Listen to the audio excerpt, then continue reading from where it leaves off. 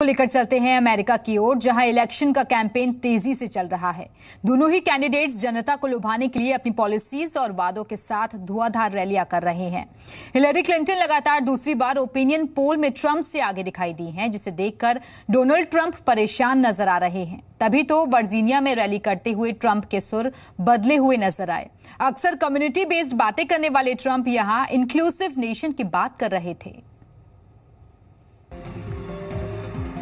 America के चुनावों में वक्त जैसे जैसे आगे बढ़ रहा है, वैसे ही वैसे कैंडिडेट्स के सुरों में गर्मी और नरमी आती जा रही है।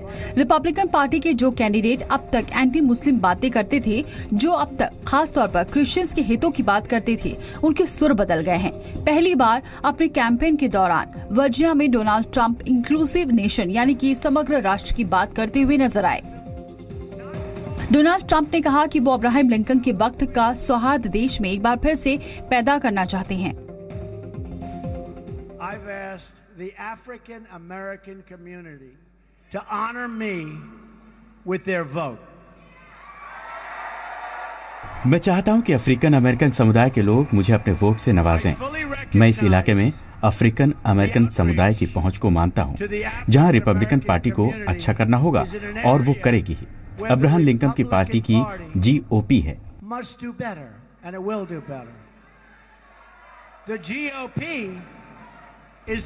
और मैं चाहता हूँ कि हमारी पार्टी अफ्रीकन अमेरिकन वोटर्स की चॉइस बने।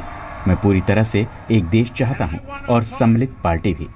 To be home of the African American voter once again Virginia की रैली में डोनाल्ड ट्रंप ने कहा कि रिपब्लिकन पार्टी अब्राहिम लिंकन की पार्टी है और वो फिर से इस पार्टी को अफ्रीकी मूल के अमेरिकी लोगों से जोड़ना चाहते हैं।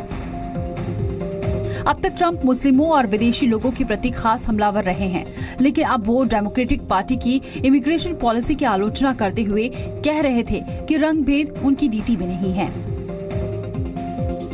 डोनाल्ड ट्रंप की इसी तरह की बातें ये दिखा रही है कि ट्रंप कैंपेन में पीछे ना छूट जाए, इस मकसद से खुद को बदल रहे हैं। या फिर हो सकता है कि ये ट्रंप की नई कैंपेन टीम का कमाल हो, जो उनकी इमेज को सुधारने में जुटी है। International desk, India twenty